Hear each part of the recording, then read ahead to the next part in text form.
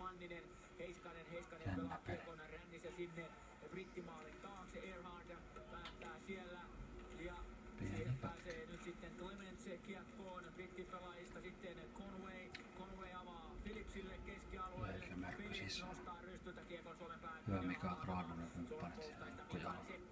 Pyöräyttää sieltä takaa kiekkoa keskialueelle. Näin tulee Vilppula kiekon kanssa. Vilppula jättö.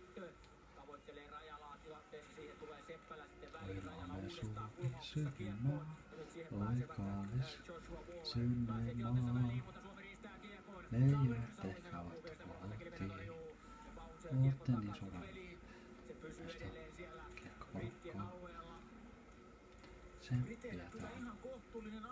Peliin. aineksia, kultaisia ja-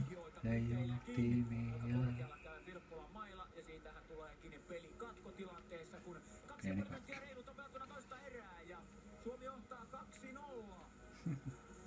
Tässä siis Joshua Tetlow kuvissa, joka ensi kaudeksi mestistä Rokissa.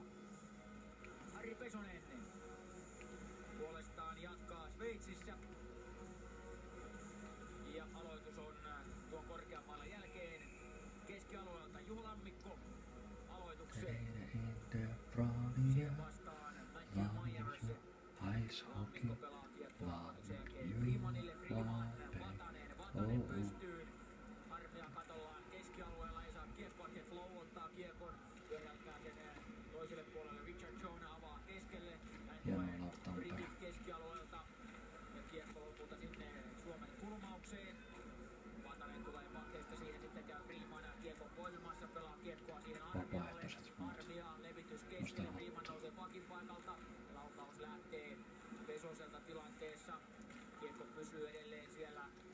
brittialueella. Vatasen levitys, Freeman, Freeman pommittaa ja ohjuriakin on siellä tekemässä suomalaishyökkäys tuolla maalin edustalla. Ted Low kiekossa pelaa kiekko Davisille. Davis vasemmalta sisään.